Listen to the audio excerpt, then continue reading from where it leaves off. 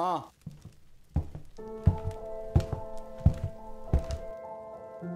പറ എന്താ വിളിച്ചേ? ഒന്നല്ലേ വാപ്പി? എന്റെ സയൻസ് ടീച്ചർ പറയാ ഒരു ഡാർക്ക് ഏജ് എന്ന കാലം ഉണ്ടായിരുന്നു എന്ന്. ഓ അതിനെ കുറിച്ച് അറിയാനാണോ? അതായത് വാപ്പി ഒരുപാട് ഇൻവെൻഷൻ നടന്ന സമയമായിട്ടും അതിനെ എന്താണ് ഡാർക്ക് ഏജ് എന്ന് വിളിക്കുന്നത്? ആ നല്ല ചോദ്യം. ഞാനൊരു ചോദ്യം ചോദിക്കട്ടെ? നമ്മളുടെ അപ്പുറത്തെ റൂമിൽ അവിടെ ഇപ്പോൾ ഇരുട്ടാണോ? അങ്ങനെയാണെങ്കിൽ ഞാൻ പറയുന്നു നമ്മുടെ ഈ ബിൽഡിംഗ് ഒരു ഡാർക്ക് ബിൽഡിംഗ് ആണെന്ന് ശരിയാണോ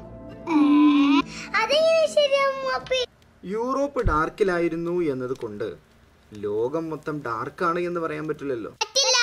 അങ്ങനെയാണെങ്കിൽ നമുക്ക് ആ കാലഘട്ടത്തെ ഡാർക്ക് ഏജ് എന്ന് വിളിക്കാൻ പറ്റുമോ? ഇസ്ലാമിക് ഗോൾഡൻ ഏജ് എന്നറിയപ്പെടുന്ന അറിവിന്റെയും ശാസ്ത്രത്തിന്റെയും ലോകത്തെ മറച്ചു വെക്കാനാണ് അവർ ആ കാലഘട്ടത്തെ ഡാർക്ക് ഏജ് എന്ന് വിളിച്ചത്.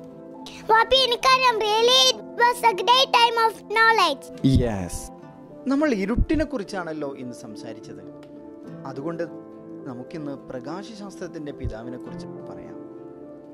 നിനക്കറിയോ ആരാണ് പ്രകാശശാസ്ത്രത്തിന്റെ പിതാവെന്ന്? Hasan Ibnu al Haytham the father of modern optics mathematician, astronomer and physicist.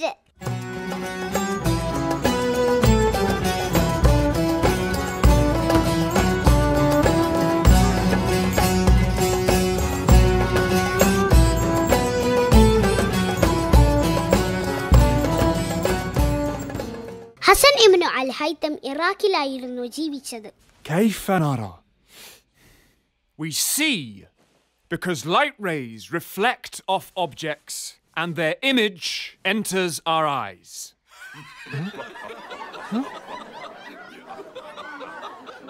Dear boy, nonsense. The great Greek scholar Euclid has taught that invisible rays shine out of our eyes, and that is how we see. But I have here a, a, a manuscript uh, from the Greek scholar Aristotle. Young Ibn al Haytham, choose your sources more wisely. Great debates, grand theories, but where is the proof? My friend from Basra, your way to the truth will be hard. Have faith. But uh, Debates, logic, not enough to become a true scientist. Ibnu അൽ ഹൈത്തമിന്റെ കാലത്ത് ഈജിപ്തിലെ ഖലീഫയായിരുന്നു അൽ Hakeem Behold, to the best minds of this land, I have come from the illustrious city of Cairo with a message from our ruler, Al Hakim bi Amrillah. Nile നദി കാരണം എല്ലാ വർഷവും ഈജിപ്തിൽ ഉണ്ടായിരുന്ന പ്രളയം കൊണ്ട് അവർ വല്ലാതെ പ്രയാസപ്പെട്ടിരുന്നു When it floods, it destroys and devastates our land. Our ruler has heard that here, in this gathering, there is a man who believes he has a monumental solution to this epic challenge to build a giant dam across the Nile. Ibn al Haytham Egyptian ഗവർണറുടെ മുമ്പിൽ Nile നദിക്ക് കുറുകെ ഒരു dam പണിയാനുള്ള ആശയം പങ്കുവച്ചിരുന്നു Heroic proportions. it is I, Al Hassan ibn al Haytham.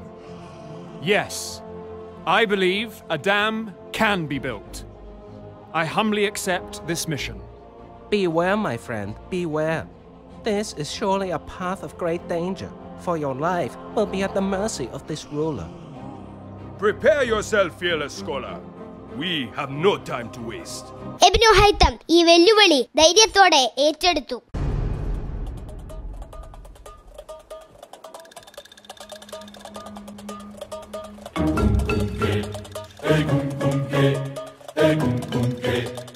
Ibnu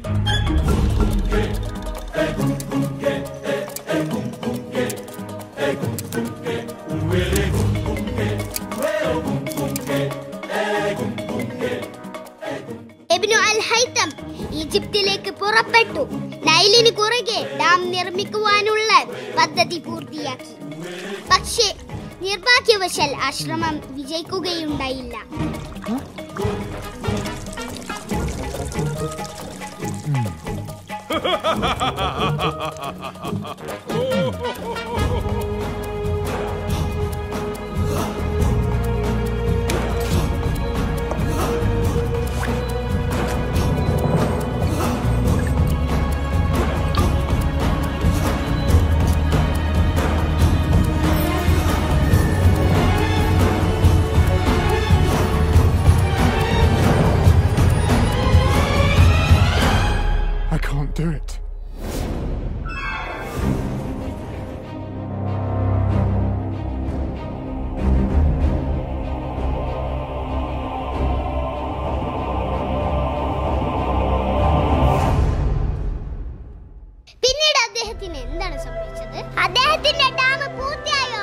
ഡാമുമായി ബന്ധപ്പെട്ട് എന്താണ് സംഭവിച്ചത് എന്നതിനെ കുറിച്ച് പല അഭിപ്രായങ്ങളുണ്ട് പിന്നെ എന്താണ് രാജാവ് അദ്ദേഹത്തെ ചെയ്തത്?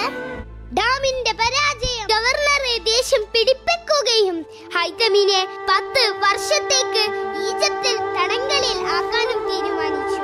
ഇവന് ഹൈതമിന് തന്റെ നാട്ടിലേക്ക് മടങ്ങാനും കഴിഞ്ഞില്ല. പക്ഷേ ആ ജയിൽ ജീവിതത്തിലാണ് അദ്ദേഹം തന്റെ നടത്തിയത്. ഒരുപാട് പുതിയ ശാസ്ത്രീയ കണ്ടെത്തലുകൾ അദ്ദേഹം നടത്തി.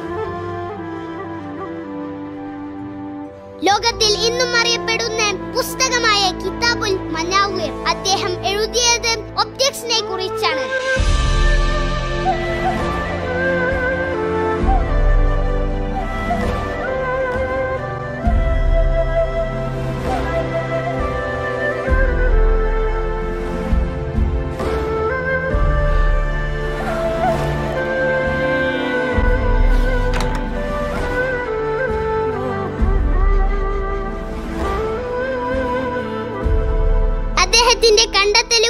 വഴി ലോകത്ത് വലിയ മാറ്റങ്ങൾ ഉണ്ടാക്കാൻ സാധിച്ചു അദ്ദേഹത്തിന്റെ അറിയപ്പെട്ട കണ്ടുപിടുത്തമാണ് നമ്മൾ എങ്ങനെ കാണുന്നു എന്നതും പ്രകാശത്തെ കുറിച്ചുള്ള കണ്ടെത്തലുകളും Light rays from the moon travel in straight lines through this small hole, just like the opening at the front of the eye.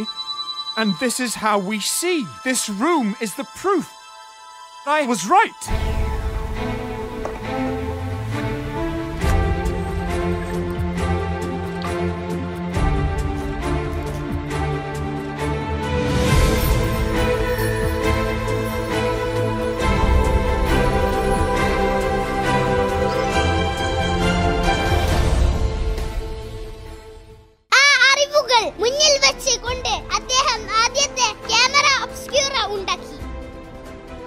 ഇതാണ് പിന്നീട് ക്യാമറയുടെ കണ്ടുപിടുത്തത്തിലേക്ക് നയിച്ചത്.